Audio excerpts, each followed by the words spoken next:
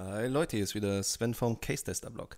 In diesem Video geht es einmal wieder um eine Aramidhülle und zwar die zweite im Bunde. Es gibt ja zwei Stück, einmal von Pitaka und einmal von Mose. Denke ich mal, dass man das so aussprechen sollte.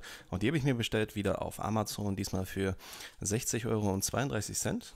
Die Preise gehen da weit auseinander, die schwanken auch die ganze Zeit. Es gibt die auch für die neuen iPhones, also für die iPhone 13 Modelle, für sogar 87 Euro. Ja, packen wir das Ganze mal aus.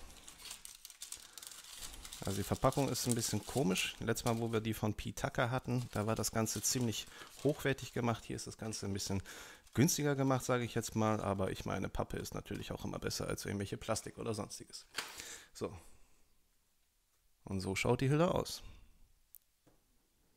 Ja, kommen wir mal zu den Vorteilen von dieser Hülle. Wir haben hier ein Hardcase. Die Rückseite ist hart und die Ränder sind aus einem Gummi gemacht. Das ist natürlich super. Also ein super Aufprallschutz, weil die Ränder federn das Ganze ab. Hier ist auch nochmal so ein dicker grüner Rahmen integriert. Und natürlich das Hardcase absorbiert sozusagen den Sturz so weit, bis es am Schluss bricht und wenn es bricht, dann ist die Energie sozusagen fast komplett weg, obwohl das hier auch nochmal ein bisschen nachgibt. Also der Schutz hier ist wirklich gut im Gegensatz zu der Pitaka-Hülle, die wirklich dünn war und eher nur auf Style gemacht war.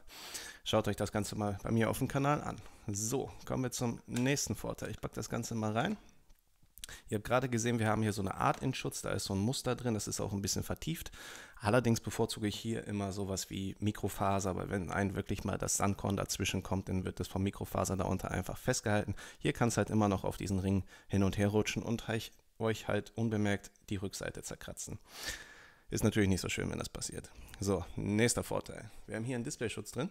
Ihr seht, das Ganze geht nochmal ein Stückchen rüber, obwohl ich ein Panzerglas integriert habe. Heißt, fällt euch das Ganze so hin, das Display liegt nicht direkt auf, außer wenn hier halt so ein Kieselstein oder sowas liegt. Oder auch beim Ablegen könnt ihr das so ablegen, ohne dass das Display oder das Panzerglas direkt aufliegt und halt zerkratzt. Nächster Vorteil, wir haben hier MagSafe integriert, auch wenn man es nicht sieht, aber es ist da.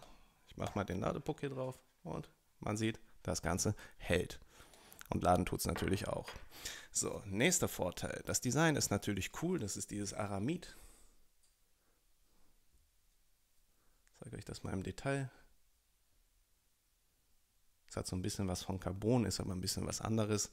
Ich habe euch unten auch nochmal verlinkt, was genau Aramid ist, wo das eigentlich verwendet wird, welche Vor- und Nachteile das hat und so weiter. Nächster Vorteil, die Knöpfe funktionieren. Man hört auch ein bisschen den Druckpunkt, allerdings nicht so stark, aber es funktioniert alles. Also hier gibt es nichts zu meckern. Und auch die Aussparung. Na komm, zoom mal ran da.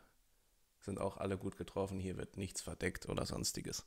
Allerdings ist es hier ein bisschen verschoben. Ich glaube, dass man diese Hülle vielleicht auch fürs iPhone 13 benutzen kann. Ich bin mir jetzt nicht sicher, weil dort war dieser Mute-Schalter ein bisschen versetzt und hier sieht das auch so aus. Ich weiß es jetzt aber nicht genau. So, das sind die Vorteile gewesen. Kommen wir mal zu den Nachteilen. Wir haben hier leider keinen Kameraschutz. Ich weiß nicht, ob das jetzt nur bei den Pro-Modellen ist oder auch bei den einfachen Modellen, weil hier die Linsen halt ziemlich rausstehen und es ist wirklich hier auf einer Ebene. Das heißt, wenn ich das Handy so hinlege und da wirklich nur so ein Sandkorn ist, sage ich jetzt mal, berührt es halt schon die Linse und kann halt zerkratzen. Das finde ich natürlich nicht so schön. Nächster Nachteil, ja, die Hülle ist ziemlich teuer. Woran liegt das? Das liegt an diesem Aramid. Das wird normalerweise im Militärbereich eingesetzt oder im Bootsbau, also in solchen Gebieten halt eher und nicht bei Handyhöhlen, weil das Ganze halt ziemlich teuer ist. Und brauchen tut es man jetzt auch nicht wirklich das Ganze. Also es ist wirklich eher so designermäßig. Schaut mal her, ich habe eine Aramidhülle, die ist sehr teuer, sagen wir es mal so. Nächster Nachteil, Fingerabdrücke. Ja, bei der Pitaka-Hülle war das nicht ganz so. Hier sieht man das. Und die gehen auch schwer wieder ab. Also die kann man nicht einfach so abwischen. Da muss man schon so ein bisschen Glasreiniger oder sonstiges rausholen. Ja, das waren die Nachteile. Kommen wir mal zum Fazit. Für wen ist diese Hülle geeignet? Wer unbedingt eine Aramid-Hülle möchte, dabei aber nicht auf Schutz verzichten möchte, wie es bei der Pitaka-Hülle der Fall ist, der sollte sich diese Hüllen von Mose einmal genauer ansehen ja, falls ihr noch irgendwelche coolen Höhlen habt, die ich noch nie auf dem Schirm hatte, die besonders sind, die vielleicht auch ein bisschen teurer sind oder irgendwas Besonderes bieten, schreibt es mal rein in die Kommentare. Dann teste ich das Ganze mal durch und ich würde sagen, lasst einen Daumen hoch da, werdet Abonnent. Ich würde mich riesig freuen, dann verpasst ihr solche Videos nicht mehr und natürlich wie immer bis zum nächsten Video.